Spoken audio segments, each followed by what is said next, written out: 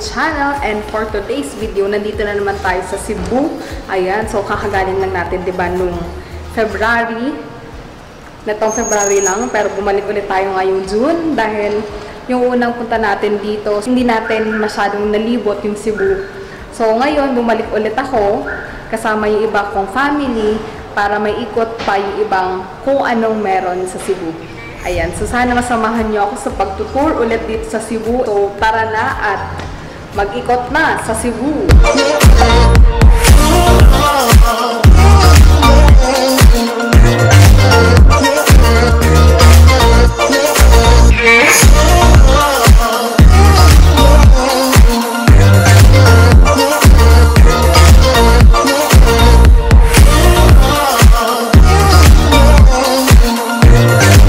Tayo sa first stop natin, ang Lapu-Lapu Shrine dito sa Mactan. Dati daw ata tong Lapu-Lapu yung tawag, ngayon pinalitan ng Mactan. So nandito tayo, first stop natin itong Lapu-Lapu Shrine. And yun nga, sobrang lawak ng paligid, ang daming space para makapag, kumbaga, makapag-picture ka or ang madami yung space para mag-banding-banding ka, maglaro, magtakbo, ganyan. So, ito yung first stop natin, Lapu-Lapu Shrine.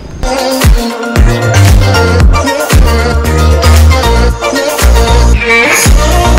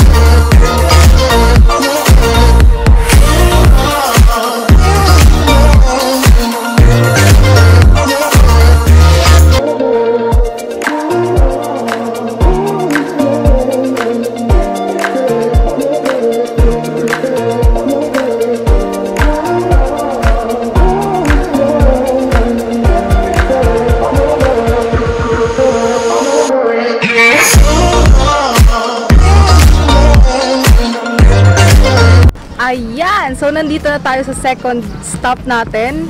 Dito sa Sirao Garden. Ayan siya.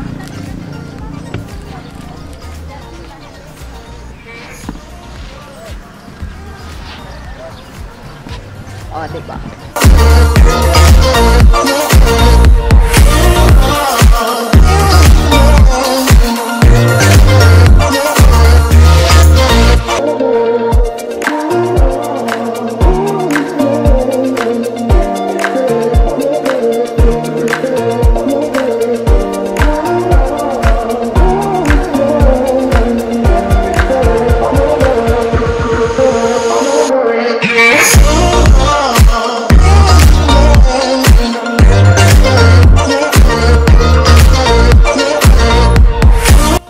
Medyo nangangati na kami.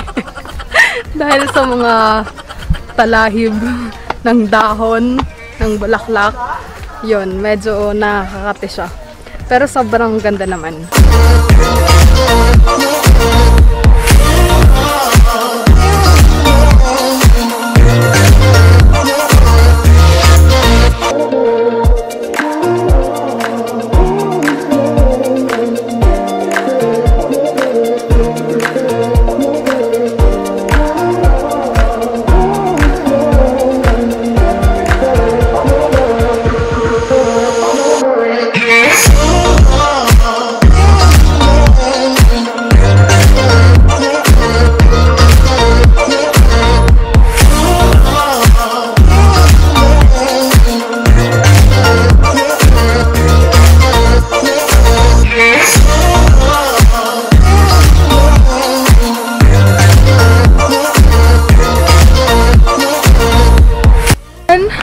nandito na kami sa top of Cebu. So, tag-ulan na.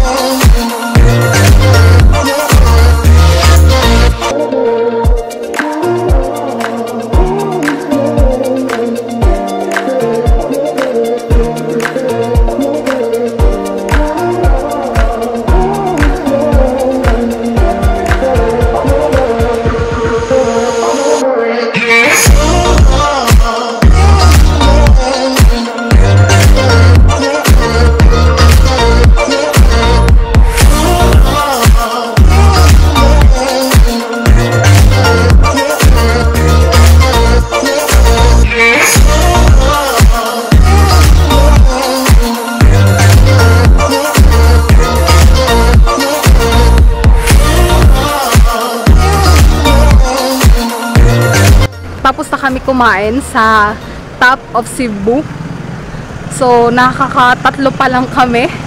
Hindi ko na alam kung saan na next. Temple of Leia ata. Pero so far, dun sa top of view, top of Cebu, ang sarap ng pagkain. So, papasok na ulit kami sa van sa aming service.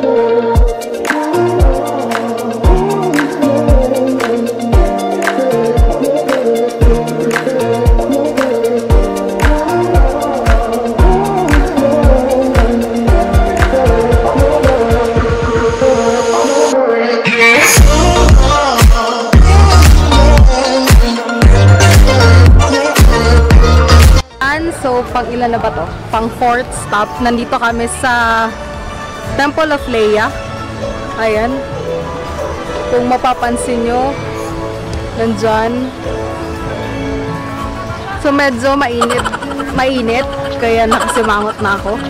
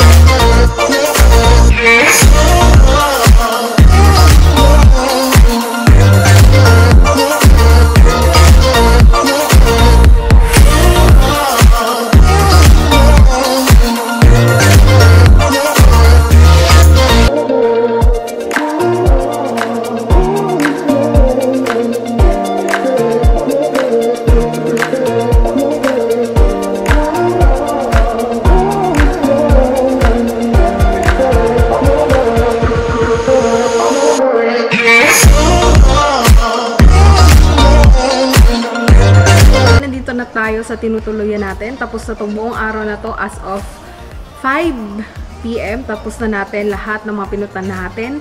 So, mga napuntahan namin ay first ay yung Lapu-Lapu Shrine. Second ay yung um, Sirao Garden. Then, nag-lunch kami sa top of Cebu. Then, sunod na pinuntahan namin ay yung Temple of Leia. And then, pumunta kami sa Magellan Cross. And, syempre, yung last, yung Basilica of Santo Niño. Then, after noon, bumili kami na ng mga pampasalubong para kasi bukas, wala nang time. And bukas kasi pupunta na din kami ng Simala Church. So, maghapon na kami doon. So, I hope etong hapon na to sobrang nakakapagod pero sobrang worth it dahil syempre sobrang daming napuntahan and at the same time 'di ba magaganda yung napuntahan natin sobrang nag-enjoy kami and so, sobrang worth it talaga na pumunta dito sa Cebu so syempre sana nagustuhan nyo ulit ito. And syempre, sana nakatulong sa inyo guys sa mga gustong pumunta din ng Cebu. ba diba? So mga, yung mga places na pwede nyong mapuntahan dito sa Cebu. So sana mapanood nyo tong video na to. And syempre, huwag nyo kalimutan mag-like, comment, share, subscribe, and bell button. Bye!